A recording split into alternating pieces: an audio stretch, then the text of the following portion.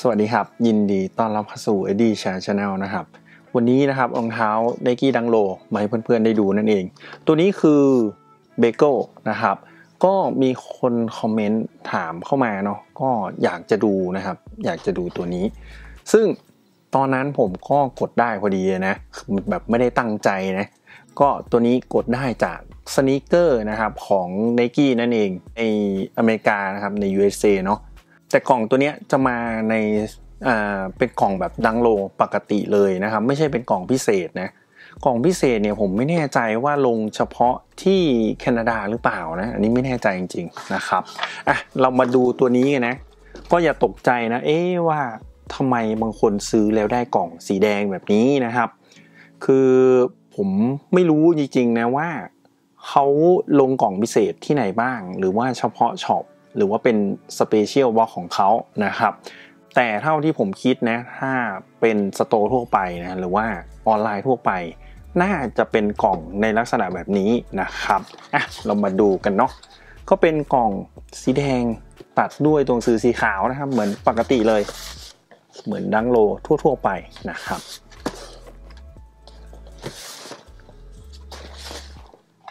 ส่วนตรงนี้นะครับลาเบลเขียนว่า Nike Dunk Low PRM นะครับ ตัวนี้เป็นไซส์ 8 US นะ กล่องก็จะเป็นแบบฝาเปิดนะครับ เป็นฝาเปิดอย่างนี้ เนาะไม่ไม่ใช่ฝาถอดนะ ก็จะเหมือนปกตินะครับ ถ้าใครเคยมีดังโลนะ กระดาษนะครับ ไม่ได้พิเศษแต่อย่างใดนะ เป็นกระดาษทั่วไปเลยเหมือนรุ่นอื่นๆ นี่ครับ นี่คือรองเท้า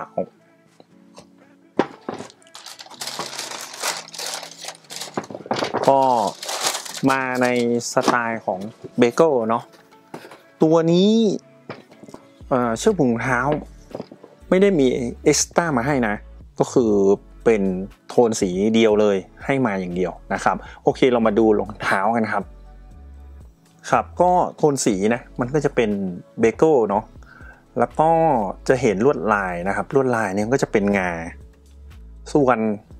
สวุตเนี่ย ก็จะให้มาเป็นสีน้ำเงินนะครับออโซเนี่ยเขาก็จะให้มาเป็นแบบเป็นกำนะครับ โอเคเรามาดูลักษณะกันใกล้ๆนะว่าผิวตัวนี้เป็นยังไงนะครับ ผิวเป็นหนังนะครับ แต่ว่าจะมีการแบบยังไงเหมือนสกีนนูนอะที่มันเป็นงาอย่างนี้นะเนี่ยผมว่าในตัวเนี้ย มันดูแบบลูกเล่นแบบน่ารักน่ารักดี ก็เลยกดมานะครับเนี่ยสวุตนะครับ เป็นสีน้ำเงินแบบนี้ ซึ่งหนังก็อืมใช้ได้นะครับ นี่เป็นตามที่เขาบอกแหละ มันเป็นพรีเมียมเนาะนะครับ สวยนะ ดูงานกันใกล้ ๆ บางคนอยากจะเห็นนะ เอ๊ะมันเป็นยังไงมัน มันสกรีนแบบยังไงเนาะเพื่อตัดสินใจซื้อนะครับ มันเป็นลักษณะแบบนี้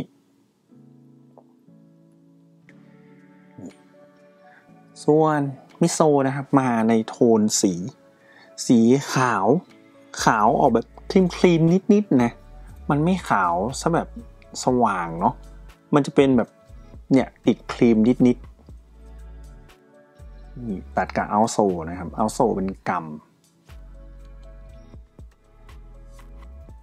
ผมว่าเขาทำโทนสีมาโอเคนะ ก็คือตามเขาเรียกตาม concept เขาเนาะเบเกิลนะครับ นี่เลย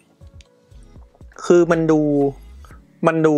ไม่เลอะเทอะจนเกินไปนะ เพราะว่าในลวดลายของเขาอยู่แล้วเนาะที่มันเป็นงา ถ้าเกิด ไปใส่สีอะไรเยอะๆเงี้ย ผมว่าอาจจะเลอะนะในตัวเนี้ยนี่หัวรองเท้าด้านบนนะครับ เรามองก็จะเป็นอย่างนี้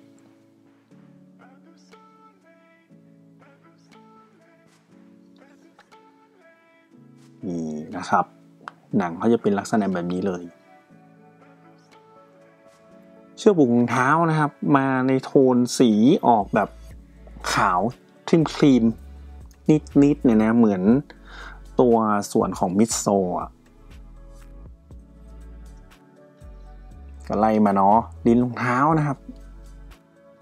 ก็เหมือนกันนะ นี่ ตัวลิ้นรองเท้าเนี่ยจะเป็นวัสดุเป็นหนังนะครับ ปกติถ้าเราเจอโดยทั่วไปของดังแล้วเนี่ย ดังโลนี่นะเราก็จะเจอเป็นผ้าเนาะแต่ตัวนี้มาเป็นหนังนะครับ แล้วก็ปิดแท็กด้านบนด้วยสีขาวแบบนี้ โลโก้ไนกี้ก็เป็นสีขาวเหมือนกันนะ ที่จริงเขาเนี่ยจะตัดเป็นเออสีแบบน้ำตาลเนาะหรือว่าเป็นสีน้ำเงินอะไรเงี้ยผมว่ามันน่าจะเออทำให้มันดูเด่นขึ้นมานิดนึงอันนี้เขาก็แบบกลืนๆนะครับเป็นสีแบบนี้เลย แต่ลิ้นรองเท้าเป็นหนัง บางคนก็ไม่ค่อยชอบเท่าไหร่นะแต่ถ้าเป็นผ้าเนี่ยมันจะสวมใส่สบายมากกว่า อันนี้เท่าที่มีมานะเท่าที่ผมมีดังโลมานะครับ แต่ก็นิดหน่อยเนาะมันแค่ความรู้สึกตรงที่ด้านบนฝ่าเท้าเรานะครับเรามาดูฝั่งด้านในนะฝั่งด้านในก็เหมือนกันนะครับ ตัวนี้ลูกเล่นหลักก็คือนี่แหละงานี่แหละ เม็ดงาตัวนี้นะครับ ผิวเป็นลักษณะแบบนี้ texture ที่มันแบบเออโดดเด่นอย่างนี้นะนูนๆอย่างนี้เลย นี่นะครับ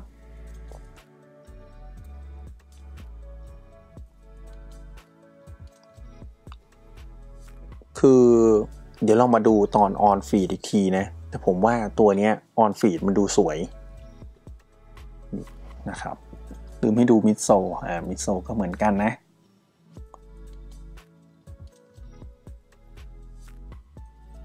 บางคนก็อาจจะไม่ค่อยชอบเนาะเพราะว่ามันดูเลอะๆดูแปลกๆไปอะไรเงี้ยแต่ผมว่าเออดีไซน์มันเข้าท่าดีนะครับ อันนี้ด้านหลังนะครับ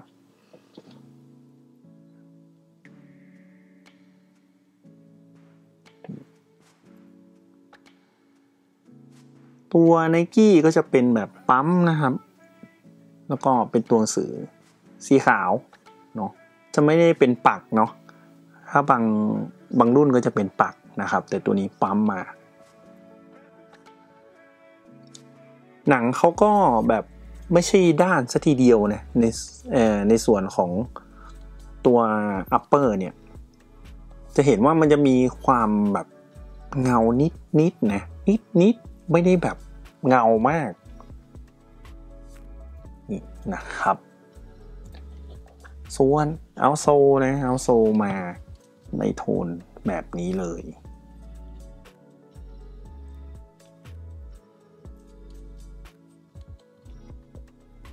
นะครับ มันก็จะแบบกึ่งกึ่งโปร่งใสนิดนิดนะ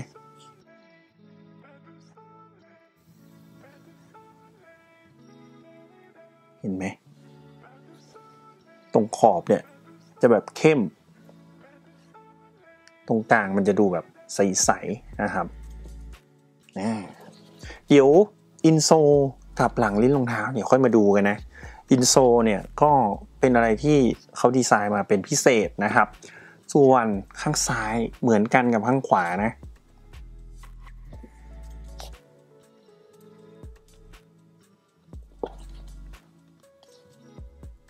ลักษณะแบบนี้นะครับเดี๋ยว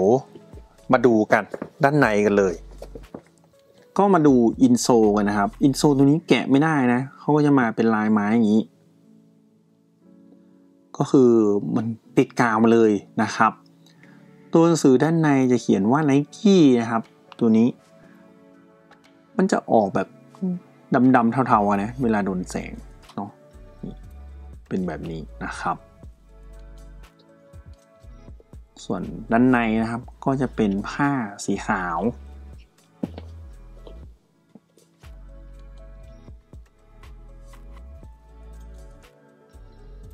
หลังลิ้นรองเท้านะครับ เป็นลักษณะแบบนี้นะ ตรงสื่ออะไรสีขาวหมดเลยนะเนี่ยก็ด้านหลังเป็นผ้านะครับ ก็คือด้านนอกเป็นหนังเนาะแต่ด้านในเป็นผ้า รองเท้าผลิตที่ก็เวียดนามนะครับ ตัวนี้ผลิตที่เวียดนามนะ made in เวียดนามก็จะเป็นลักษณะแบบนี้นะครับ โอเค เดี๋ยวเราไปดูออนฟีดนี่นะครับว่าสวยไม่สวยนะ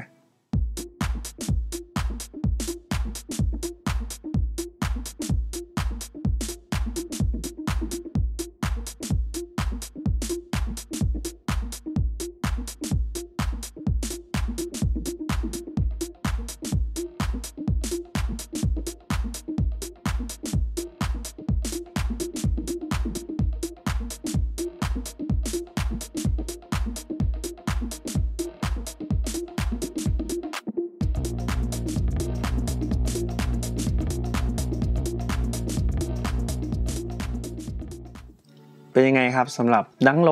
Bagel นะครับ ตัวนี้ texture ต้องถือว่าเออดีไซน์ออกมาเข้าท่าดีนะครับในสำหรับที่มันเป็นงานะบางคนก็อาจจะไม่ค่อยชอบนะแต่ในส่วนตัวแล้ว ผมว่าโอเค มันเป็นอะไรที่แบบแตกต่างจาก Dunk ปกติที่ว่าแค่เปลี่ยนสีเนาะก็จะมีลูกเล่นอะไรอย่างเงี้ยผมชอบนะครับ ส่วน Swoosh ที่ใช้เป็นสีน้ำเงินเนี่ยโอเค มันทำให้รองเท้าเนี่ยมันมองว่าเป็นดัง ถ้าเกิดการใช้สีอื่นนะมันอาจจะกืนไปเนาะส่วนเชือกผูกรองเท้า ถ้าใครชอบในสไตล์แบบนี้นะก็โอเค แต่ถ้าใครแบบชอบอะไรที่มันแหวกแนวนิดนึงหรือว่าทำให้รองเท้ามันดูพอปขึ้น ก็ลองไปเปลี่ยนสีดูนะครับ ผมว่าถ้าเราไปเปลี่ยนสี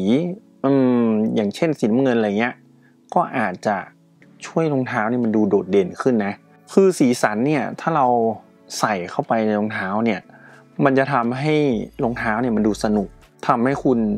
ดูมีสีสันมากขึ้นนะ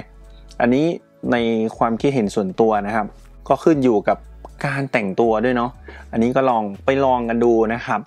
ส่วนคลิปนี้นะครับขอบคุณมากครับที่ติดตามรับชมกัน สวัสดีครับ